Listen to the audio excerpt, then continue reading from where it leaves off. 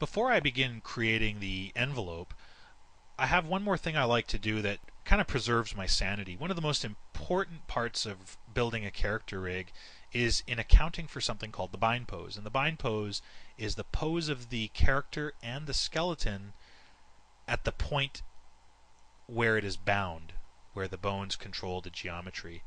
And normally when you're working with a character envelope, a skeleton painting the weights, you can easily return the character back to this bind pose by using reset actor. Now the only problem here is that we have a specialty spine in use and custom rig objects like this don't necessarily reset themselves very easily. So we need to make a button that's going to do that for us. And it's fairly easy to do. Uh, the way that I like to do it is to first of all let each object in the skeleton know how it's going to be animated by setting up what are called keyable attributes, keyable parameters. I'll close down the Explorer here and explain a little bit more. In XSI, bone objects have pretty much one function. I mean, you can scale them, um, but for the most part, we're just rotating these objects um, because of the, the FK situation, or using the IK end effectors um, to, to key their positions.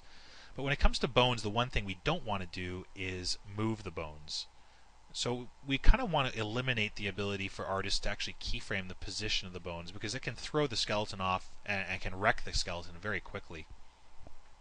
So one of the most important things to do on bones is to make sure that you're not keying position. So I'm actually just going to use this bone filter here and just drag a box around the character or press Shift A, uh, Control A to select all of those bones using the filter.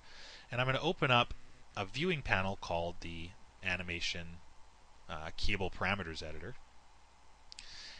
And it works on all of the objects you've got picked. Even though it only looks like the pelvis bone is showing up, in this drop down list here, I have all of the bones showing up in my list.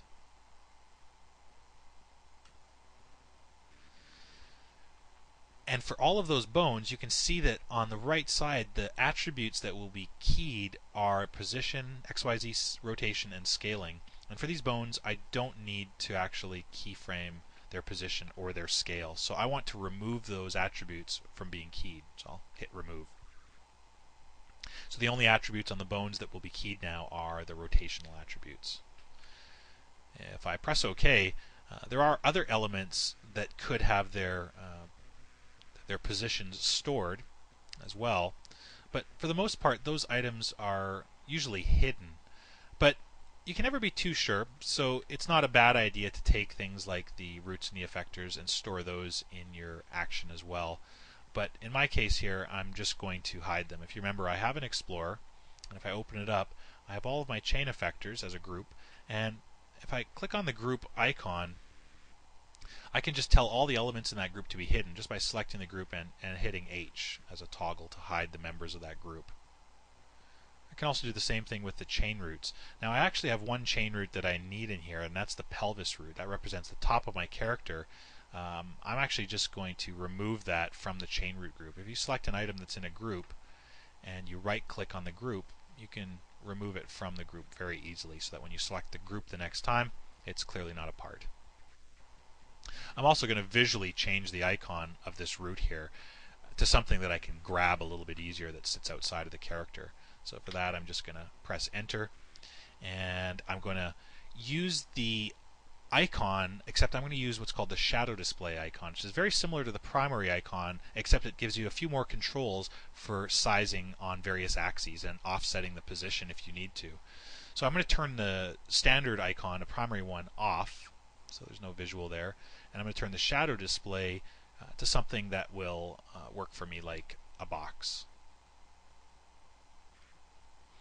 I need to make the box a little bit larger, so I'm going to use the main size attribute to make it big, and that's pretty unwieldy. That's huge.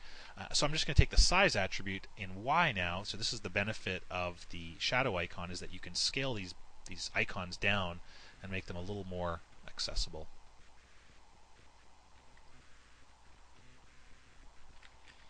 So I have a control that looks something like that. So for the other roots, I'm simply going to hide them.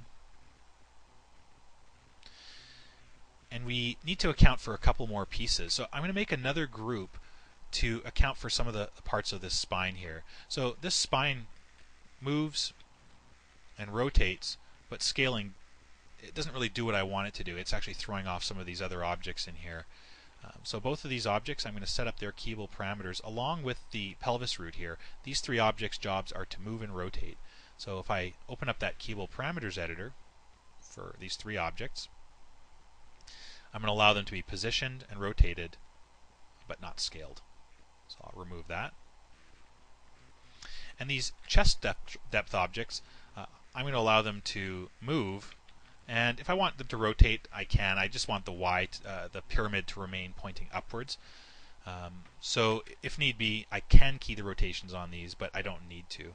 Um, so I'll just key the position in this case. I'll just remove the other six attributes.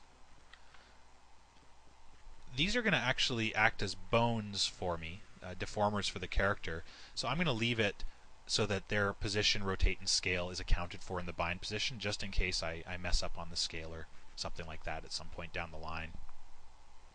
But what I also need to do is account for this curve. Again, this curve is sort of driving the uh, the arc of the spine through these control objects, and I don't really need to select this curve. In fact, it can cause me some grief if I do select it and manipulate it too much.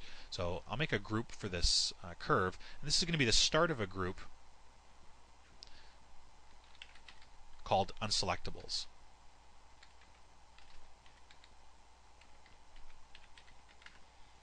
And I'm going to set the selectability of that group to do not allow selecting members. So I can see it, I just can't grab it and I'll actually move that unselectables group up into the Mulcore model. I'm done with the keyable parameters editor now, so I can close it down.